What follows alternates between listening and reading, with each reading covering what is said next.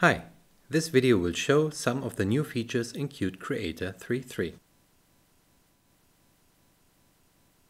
Loading of big projects is now faster and does not block the user interface as much as previous versions of Qt Creator did.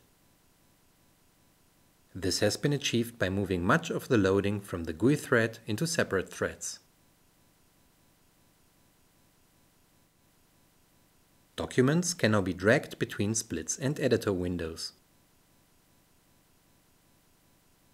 And from navigation views to splits or windows.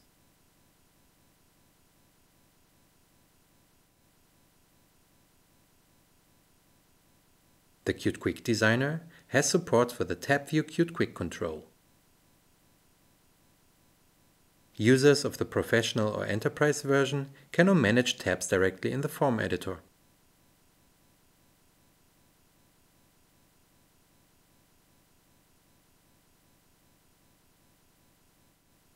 This release introduces the file extension UIQML. Forms with that extension are QML files which are meant to be edited with a professional or enterprise version of the Qt Quick Designer. Other code can be placed inside the implementation files of the forms. This ensures that a very complex UI QML file can at any time later be edited in the Qt Quick Designer. The QML profiler now offers the possibility to select which types of events to record, which can reduce profiling overhead. Categories can be reordered.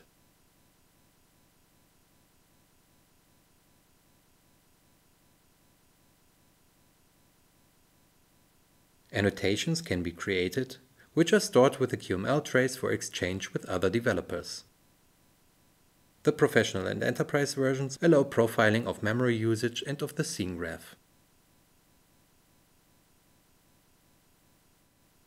Qt Creator now supports theming of the user interface.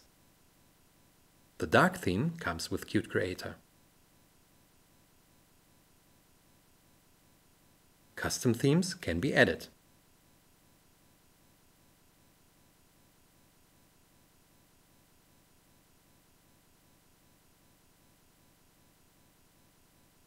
The theming feature is a contribution by members of the Qt community. High DPI support in Qt was so far a speciality on OS X and iOS. Qt 5.4 now adds experimental high DPI support for Windows and Linux. To honor that, Qt Creator improves its appearance on high DPI screens and looks more crisp than ever.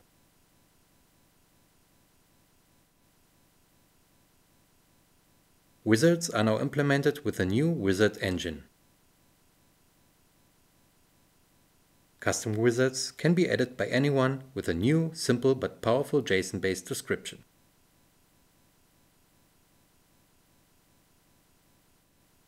We hope you like the new Qt Creator. Thank you for watching.